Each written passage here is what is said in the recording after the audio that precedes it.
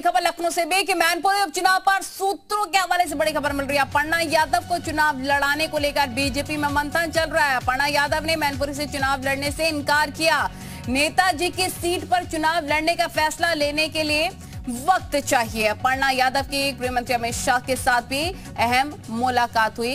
ये बड़ी खबर इस वक्त की हम आपको बता रहे हैं। तो मैनपुरी उपचुनाव पर सूत्रों के हवाले से बड़ी खबर कि अपर्णा यादव को अपर्णा यादव, जो कि मुलायम सिंह यादव की बहू हैं। और अब ये विचार ये विचार विमर्श, ये मंथन चल रहा है कि उनको इस सीट से, जो खाली सीट है मैनपुरी की, वहाँ से उपचुनाव लड़ाया जाए। बीजेपी में मंथन चल रहा है। हालाँकि अपर्णा यादव मना कर रही हैं। ये बोलकर कि नेताजी की सीट पर चुनाव लड़ने का फैसला लेने के लिए उनको थोड़ा वक्त चाहिए विचार विमर्श करने के लिए। तो अपर्णा यादव के गृह मंत्री शाह से मुलाकात हुई है और ये मंथन का दौर अभी चल रहा है। कि मैनपुरी से अपर्णा यादव लड़ेंगे या नहीं? पवन सिंगर हमारे सहयोगी, तमाम जानकारी के साथ लाइव जुड़ गए हैं। पवन सिंगर मैनपुरी में भी उपचुनाव होने हैं और बताया जा रहा है कि अब पर्णा यादव को लेकर डिस्कशन चल रहा है, हालाँकि वो मना कर रही है। क्या जानकारी? अब बिल्कुल नलनी पांडे खास तौर से मैनपुरी सीट काफ़ी प्रेस्टिजियस है। नेताजी का निधन हुआ है, उपचुनाव होना है। लिहाजा भारतीय जनता पार्टी इस बात को जानती है कि वहाँ सिंपैथी वोट मुलायम सिंह यादव के परिवार से कोई चुनाव लड़ता है तो उसके फेवर में जाएगा। अगर अपर्णा यादव वहाँ से चुनाव लड़ती हैं तो नेताजी की बहू हैं और अच्छे से वहाँ की जनता से वो कनेक्ट हो सकती हैं। लेकिन अपर्णा यादव इस बात को जानती हैं कि नेताजी के निधन के बाद अगर तेज प्रताप यादव को वहाँ से चुनाव लड़ाया जाता है तो निश्चित तौर पर मैक्सिमम जो वहाँ की जनसंख्या है, वो नेताजी के रूप में वोट करने का काम करेगी। उस समय अपर्णा यादव बहू के तौर पे चुनाव तो ज़रूर लड़ेंगी, लेकिन भारतीय जनता पार्टी और अखिलेश यादव के परिवार से खिलाफत करके चुनाव लड़ेंगी। शायद उनके लिए वो अच्छा नहीं होगा और यही वजह है कि अपर्णा यादव अभी वक्त मांग रही हैं। फ़िलहाल उन्होंने इस बात को लेकर के मना किया है कि वो चुनाव नहीं लड़ेंगी वहाँ से। उनको वक्त चाहिए परिवार और और अन्य लोगों से बात करने के लिए ताकि वो फैसला ले सके कि नेताजी के सीट पे वो चुनाव भारतीय जनता पार्टी से लड़ती हैं तो उसका रिएक्शन क्या होगा? परिवार में कुछ लोग जो से ही हमारे साथ अतुल हमारे सहयोगी तमाम जानकारी के साथ जुड़ गए हैं। अतुल किस तरह के समीकरण वहाँ पर बनते हुए नज़र आ रहे क्योंकि डिस्कशन चल रहा है विचार विमर्श चल रहा है कि अपर्णा यादव को बीजेपी उतार सकती है चुनावी मैदान में।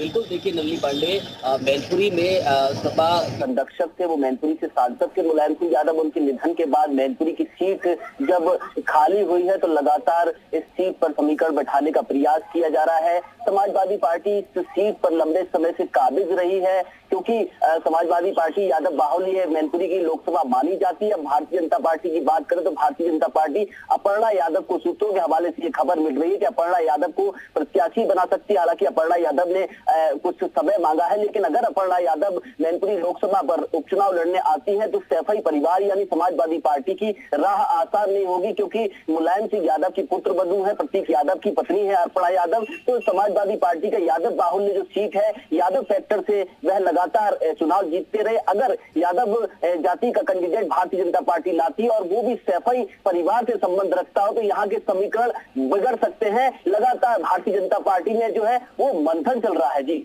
बिल्कुल, आपके पास लौटूँगी पवन भी हमारे साथ लगातार बने हुए पवन, अतुल कह रहे हैं कि राह आसान नहीं होगी अखिलेश परिवार के लिए, अगर आप पढ़ना यादव मैदान में उतरती हैं।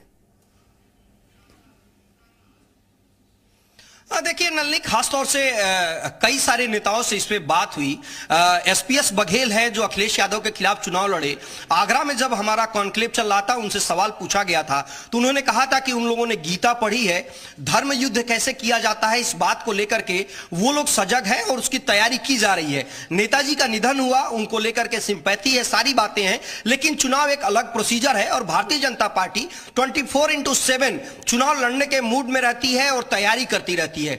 मैनपुरी सीट में हालाँकि उपचुनाव है, सिंपैथी वोट और मेजर वोट बैंक सीधे तौर पर यादव परिवार के साथ जाता हुआ दिखाई दे रहा है और यही चिंता है अपर्णा यादव को भी, क्योंकि अपर्णा यादव चाहती ज़रूर होंगी कि नेताजी की सीट से अगर वो चुनाव जीत करके आती हैं तो निश्चित तौर पर वो भारतीय जनता पार्टी में एक बड़े नेता के तौर पर सामने नज़र आएँगी, लेकिन इतना राह आसान अपर्णा के लिए भी नहीं होगा, क्योंकि प्रतीक यादव की पत्नी है, नेताजी की बहू है, लेकिन जो नेताजी के चुनावी संगठन को देखते रहे हैं, जो नेताजी को वहाँ पे चुनाव लड़ाते रहे हैं, अगर उनको समाजवादी पार्टी टिकट देती है तो जनता के बीच में उनकी पैठ ज़्यादा है और भारतीय जनता पार्टी के ऊपर समाजवादी पार्टी और परिवार के लोग जब आक्रमण करेंगे तो देखना होगा कि अपर्णा यादव क्या खुल करके यादव परिवार पे आक्रमण कर पाती हैं, या वो वहाँ पे जो स्पीच देंगी, वो किस तरीके का होगा तो बहुत सारे इफ़ एंड बट है।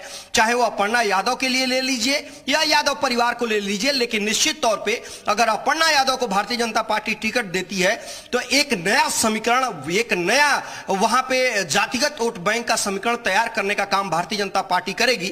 और शायद यही वजह है कि अमित शाह अपर्णा यादव से मिल करके मैनपुरी से उनको चुनाव लड़ाना चाहते हैं लेकिन अपर्णा यादव एक तरीके से देखा जाए तो वो राजनीति में जब आई तभी उनको एक तरीके से परिपक्व नेता के तौर पे देखा जाने लगा था कि वो हर फैसला बड़े सोच समझ करके लेती हैं। लिहाजा मैनपुरी से वो क्या खुद तैयार है चुनाव लड़ने के लिए? शायद यही वजह है कि उन्होंने। पार्टी का गढ़ है ऐसे में अपर्णा यादव के लिए भी राह आसानी होगी। पवन बहुत शुक्रिया आपका तमाम जानकारी साझा करने के लिए। अतुल आपका भी शुक्रिया।